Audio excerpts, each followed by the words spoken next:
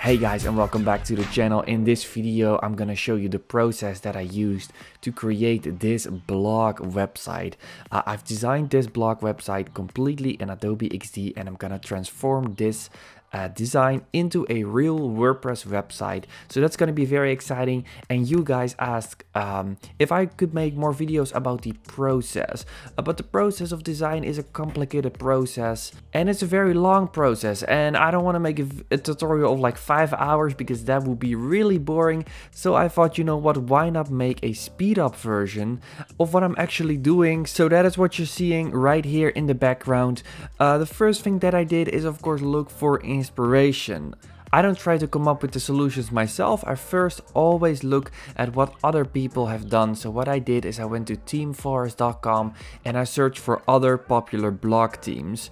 So as you can see, I really spent some time on the research and I tried to find ideas from a user experience standpoint. Uh, so what I'm actually doing here is I'm trying to understand why these blogs sell so well. Uh, maybe it's because of the nice design, but maybe it's also because of how the content is structured.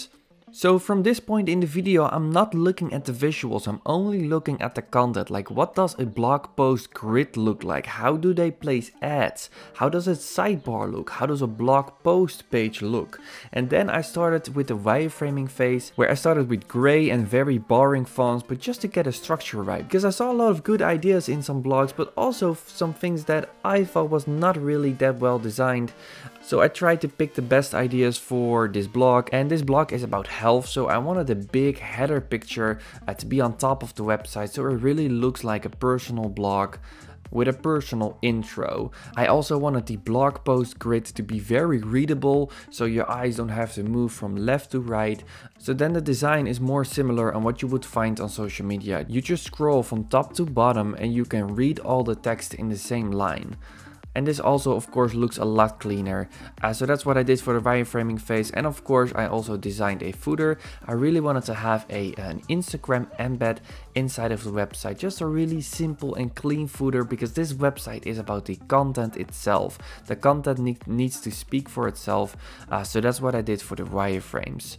And then I was done with the wireframing phase and I started with the visual design. So what I did is I went back to all the themes, uh, screenshots that I took and I started to look at the visuals. Like what kind of fonts do they use? How big are they? And what I oftentimes do is I try to replicate exactly uh, a few styles that I like and then I did some little experiments to find out what style would fit this healthy blog.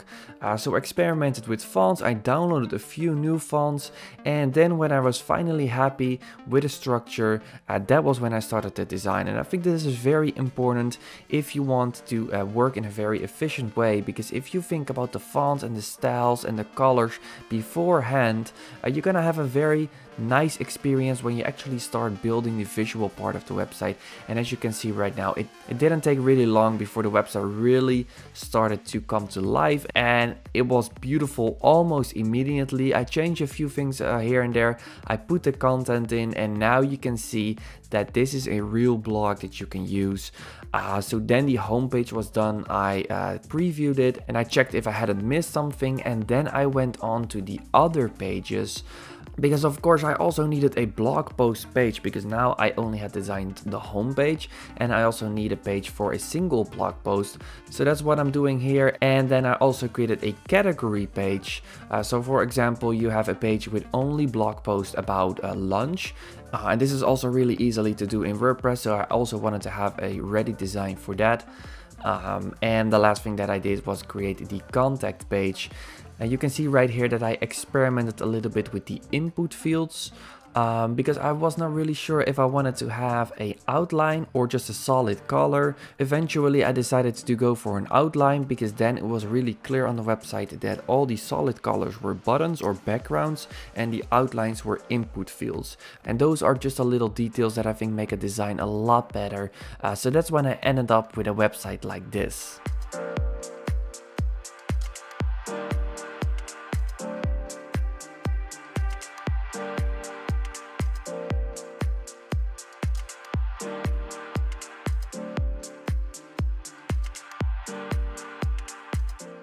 Uh, so yeah, so let's just click on uh, the breakfast, for example. So here you can see the category page where you can see very clearly that these are only articles which have the tag breakfast. I didn't change the text over here, but that is what will happen in WordPress. So that looks also pretty good. And let's now click on an actual blog item like this.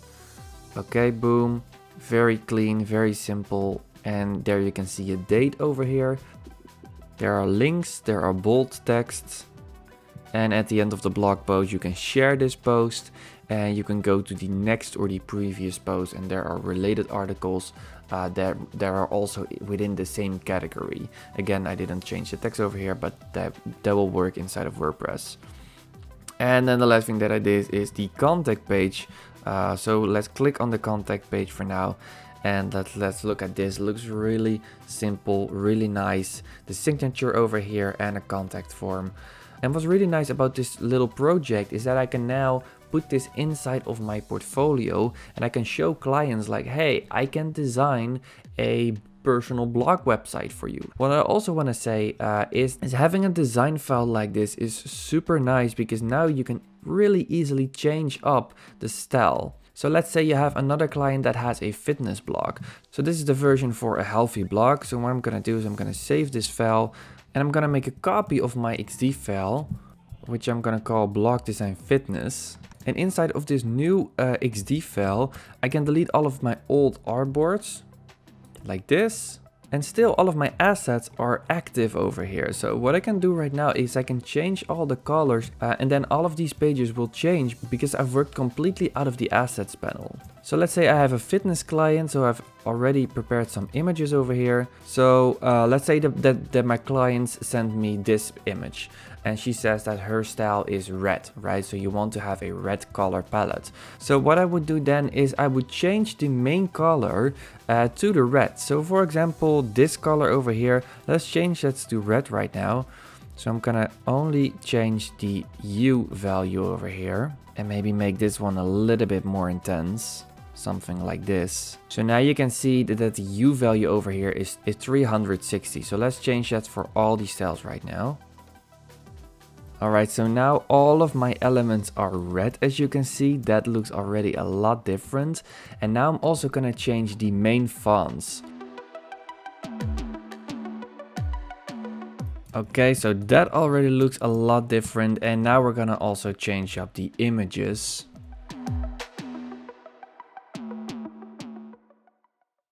So as you can see, I've just changed up some images and now we have a completely different website with a completely different style.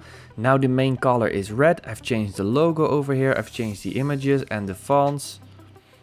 Now this is a two column grid instead of a one. The fonts are a lot more modern.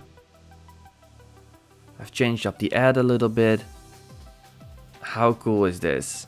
And of course you can customize it even more, but I just wanted to show you my process, how I work when I create a website and that I really care about the asset panel in Adobe XD because now I can just change all the fonts uh, inside of all the artboards without having to click on all the items and change it. Uh, so that was my process for this website. I hope you enjoyed it. And if you want to get updated on how I transform this website into a real personal blog on WordPress, then you should definitely subscribe or uh, click on the bell if you want to get a notification. Uh, that's it for now. I hope to see you in the next video.